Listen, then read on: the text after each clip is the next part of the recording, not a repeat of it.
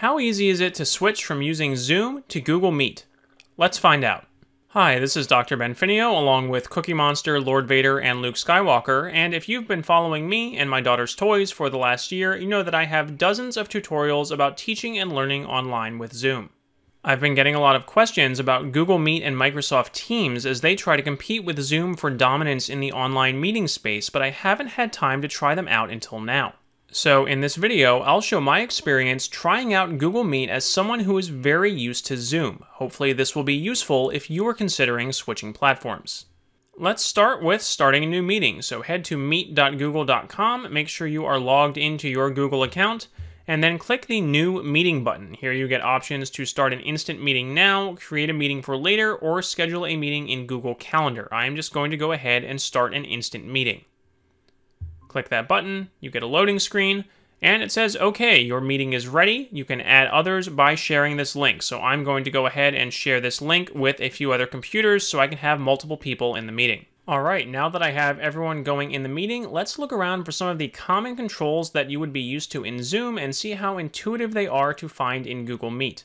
One quick caveat before I do that, everything you see right now is being recorded with a third-party screen recorder. So you are seeing exactly what I see on my computer desktop. This is not being recorded from within Google Meet. So I might do a future video on recording with Google Meet. I have several videos on recording with Zoom. But again, this is a third-party screen recorder that you're seeing right now. So Let's look at two of the first controls you might typically look for in a Zoom meeting, the mute buttons for your camera and microphone. Again, if you're working from home and you have family or pets or somebody running by or barking in the background, you might want to quickly be able to mute yourself or turn your camera off. Luckily, those buttons are very easy to find here at the bottom, just like they are in Zoom. Note that I already have myself muted here because I have four computers in the same room and I am trying to avoid feedback, but if you were talking, you would click this to unmute yourself. And if you need to turn your camera off, you click the button here. That will turn off my video and just show my profile picture. One point in favor of Zoom here, I do have multiple microphones connected to this computer. And in Zoom, you get a little up arrow next to the mute button that will let you select a different audio source. You don't get that here. It took me a second to figure this out. If you want to select a different audio source, you need to go over to the three dot menu down here, go to settings, and then this will bring up audio settings where you can change to a different microphone. So it's a few more clicks to get to that in Google Meet. Not a huge deal if you're just using a laptop with a built-in microphone or a phone, but if you're on a desktop with multiple sources, that is a little harder to find. Okay, now let's check out some of the view controls. In Zoom, you would call this gallery view, where you can see everyone, and if you wanted to see one person big and everybody else smaller, we would call that speaker view. So in Zoom, you can click to rearrange people in gallery view. I am trying to do that right now and nothing is happening, so it looks like Google Meet lacks that feature. And if I want to switch to speaker view or see one person big, how would I do that? So let's check out this button, show everyone. If I click on that, oh, nope, nope, that didn't switch to showing everybody. Okay, how do I show one person? How about pin to my main screen? There we go. Okay, so th that pin button makes one person large, and unlike Zoom, so in Speaker View and Zoom, you would still get a little strip of thumbnails of everybody else across the top. And I appear to have lost that here, unless if I close this window, maybe? Nope, okay, it's just showing my own picture up in the corner, Vader here, but I have lost Luke and Cookie Monster. Maybe if I click here? Nope. Okay, so not immediately clear how you can see the speaker in a large view, but still keep everybody else in tiny little thumbnails. I'm going to try clicking a couple more buttons here. This button again. Nope. Can I show people individually? No. Here's the chat. I have no idea what those triangles and circles are for. We'll check that out later. Okay, so I guess this could be a good or bad thing depending on what you want. If you are a student taking an online class and you really don't care about seeing the other students, you just want to see the teacher and maybe have a view of yourself here, then this could be fine. But if you're in more of a group meeting or something for work where you want to see the speaker big, but you also want to see your coworkers or you're taking a smaller discussion based class, then I don't really like this. It's kind of nice to be able to see everybody else. And again, I am not clear how exactly to do that unless you switch back So I'm going to unpin Lord Vader there, and then it brings me back to gallery view, and I can see everyone. So, so since I accidentally clicked on it before, let's check out that chat feature. Here is a chat with everyone button. This pulls up a chat window over on the right, kind of similar to what you would get in Zoom, where you can type and hit enter. What I am not seeing is an option to send private chats. So in Zoom, there's a little drop down here where you can select send everyone, just send some, something to the host, or send to individual participants in the meeting. And the host can enable or disable various levels of that, for example, if you don't want students talking to each other. But I do not see that option here at all. Even if I go back over to this little, what I would call kind of like the participants window in Zoom and say, try to click on somebody's name, there's no send direct message option. So I'm not clear if Gmail expects you to be using another service like through Gmail or Hangouts, or it's kind of confusing how they branded all their various chat things over the years. But I'm not seeing a way to direct message somebody in the meeting, so I'd call that another win for Zoom.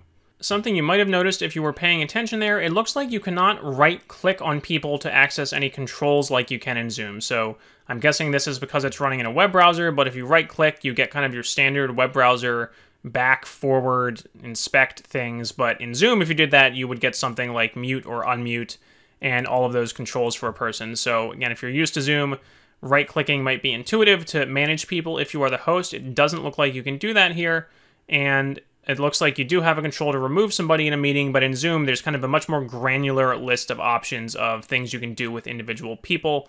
So like, for example, it doesn't look like I can pin or spotlight a single person for everybody else. Zoom gives the host controls to spotlight individuals for other people. And I'm seeing that I can pin people for myself, but I'm not seeing an equivalent to Spotlight in Google Meet. Even if I go here to the participants menu and check this little drop down thing, the only options I get are to pin to my own screen or remove from the meeting. There's no promote to co-host or spotlight or any of the other options that you would get in Zoom. So again, simpler interface, maybe that's a good thing, but in general, this is not looking like it's anywhere near as customizable or as deep as Zoom in terms of what you can do with the different participants as a host. All right, let's check out screen sharing since that is a very popular feature if you are teaching online. It looks like in Zoom that is called Present Now, so I'm going to go ahead and click the Present Now button. It then gives me options similar to Zoom to present my entire screen, a window, or a tab in my browser. I don't think you, Zoom has that last one. So let's say I'm going to go ahead and I just want to present a single window. I'm going to click that and uh-oh, this is interesting. It's not showing PowerPoint. So I have PowerPoint open on my computer and it's showing Camtasia, which is what I'm recording my screen with. It's showing the browser tab where I have this open and it's showing Windows Explorer. But those are the only three things it's detecting. It's not showing PowerPoint here for some reason. So that's weird. Let's cancel that, and I guess I'm going to try sharing my entire screen. Is that going to work? Maybe. Okay, so I, am on two monitors here. I'm going to select screen two, hit share, and now it's telling me I'm presenting to everyone. Okay, so I think I would be kind of duplicate presenting to everybody here. So I'm going to drag this over to another monitor. I am on two monitors here and open my PowerPoint. And now, supposedly, I'm sharing my screen to everybody else. Let's go ahead and check Luke's laptop to see if I can actually see this PowerPoint on Luke's screen. Oops. Okay, yeah, there we go. So, I am getting the PowerPoint that I am sharing from this computer on all of the other screens, but I'd say that is nowhere near as intuitive as what's going on in Zoom. So in Zoom, I would get just a little collapsible toolbar up here at the top that gives me the option to stop screen sharing. But it looks like if you were on a single monitor in Google Meet, so the only way, only place I get a notification that I'm screen sharing is here in the Google Meet browser tab. But if I want to share a PowerPoint on a single monitor, I need to minimize this. And now I only see PowerPoint. I don't really have a little collapsible toolbar like I would with Zoom. So I'm doing this on two monitors, so I can have Google Meet open off on a second monitor, which you're not seeing, but if you were trying to screen share on a single monitor, this seems like it would be kind of confusing, so I will call that another win for Zoom. Okay, so I've stopped sharing. Let's see what other remaining options there are to play around with here. I'm going to go check this little three-dot menu down here in the bottom. So let's check the change background feature. So virtual backgrounds are something that people certainly had a lot of fun with in Zoom to try and lighten life up a little bit during the pandemic. So I'm going to go ahead and click the change background button. And it looks like it has a bunch of options like blurring, adding your own image, or picking one of these built-in backgrounds just like you can find in Zoom. So for example, I'm going to select a beach, and it looks like this feature is pretty comparable to Zoom, where it will automatically add this background behind you. So I think Zoom has some video backgrounds. I'm not seeing any video options here, but there are a bunch of different static images. Or again, you can upload your own or turn off if you want to go back to just your regular background. So it looked like there was a whiteboard feature in there. So Zoom has a built-in whiteboard feature. Let's compare this. Work up ideas together, blah, blah, blah. Start new whiteboard. Creating Jam. So I think this is called Google Jamboard. Oh, well, so this is a lot more complicated. It's not just immediately starting a whiteboard like it would in Zoom. It's asking me to share it with the other people in the meeting first. I believe this is because it's creating a file in Google Drive. So I'm going to go ahead and share that. Oh, this opens a new browser tab. That's interesting and kind of annoying. So again, if you're on a single monitor, then you kind of have this as a separate thing in front of everybody. And uh, so now this is a kind of Microsoft Paint basic thing similar to what you would have in the Zoom whiteboard, where there's a bunch of different controls here over on the left for drawing, adding shapes, erasing, adding text sticky notes, that sort of stuff. So I'm not going to play around with this too much but that's the basic idea of how you start it. Again, it looks like this is a little different. This is integrating a separate Google service. So Jamboard is kind of like Google Docs or Google Docs or Google Sheets, that sort of thing. I believe you can start one of these totally independent of a Google Meet meeting. So they've integrated that with Google Meet here, and when you create it from within the meeting, it's going to go ahead and create this separate document. So I have no idea where this is saved or how I would ever access it again. I'd probably have to go log into my Google Drive and check. So it looks like this is all fully functional. If you're familiar with Jamboard, maybe that's easy, but if you're used to the Zoom whiteboard, it looks like there are a few extra steps there. So I noticed two things. There's a closed caption button, so let's try turning those on. Captions have been turned on. Am I getting automatic closed captions? No, I'm not seeing anything. So supposedly I have turned captions on. Zoom has recently released live auto captioning. So I am still not getting captions on my own computer. Let's check and see if I'm getting them on Luke's. So, whoops, I'm gonna drop Luke there. Sorry, Luke. Am I getting captions here? No, I am not getting captions. So it claims that I turned on captions. I'm gonna try turning them on here too. Turn on captions. Captions have been turned on. So it's telling me captions have been turned on, but I'm not seeing the captions anywhere. Are they in the chat? You shared a file with Jam meeting? Nope. Okay, so supposedly I've turned captions on, but I have no idea what button I'm not clicking to actually make them appear. So unless I'm doing something wrong, that seems to work better in Zoom, where once the host turns on automatic captions for the meeting, then they'll just start showing up at the bottom, and individual users can turn them on or off if they don't want them. But I cannot figure out how to do that here. I also noticed while clicking around that menu, there is this change layout button. So let's see what that does.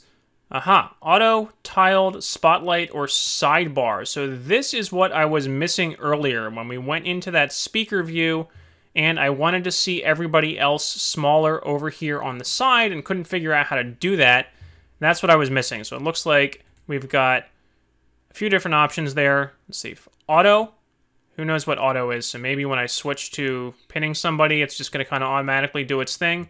And this is weird. It still it still thinks I have captions on, but it's just not showing anything at the bottom here. So I'm going to turn that off again to get my full screen size back here.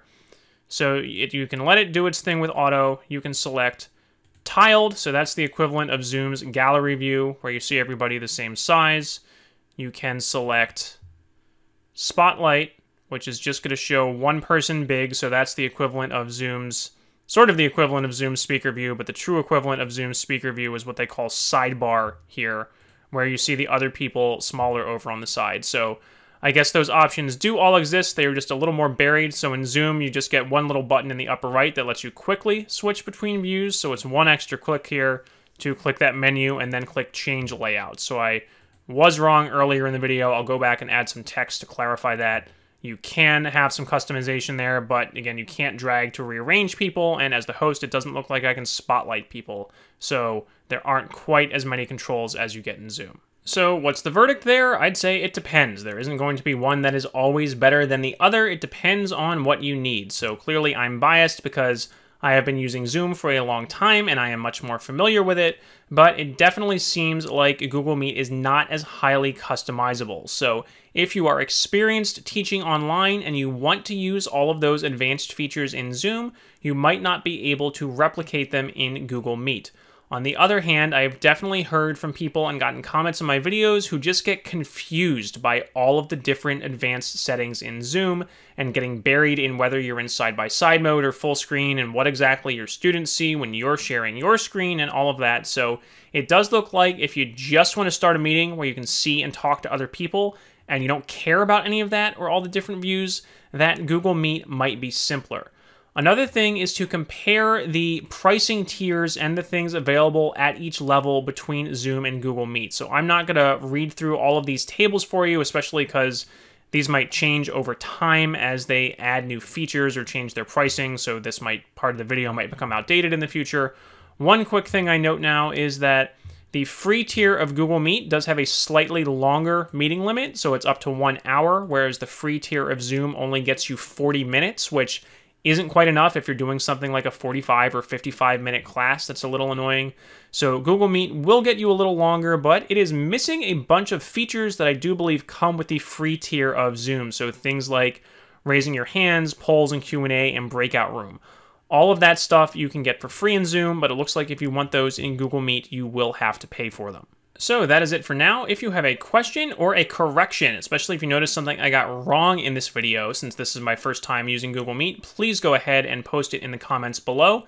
And hopefully, if I have time, I will make more Google Meet tutorials or check out Microsoft Teams in the future. So if you have a request for another tutorial, again, please go ahead and leave a comment below this video. Thank you.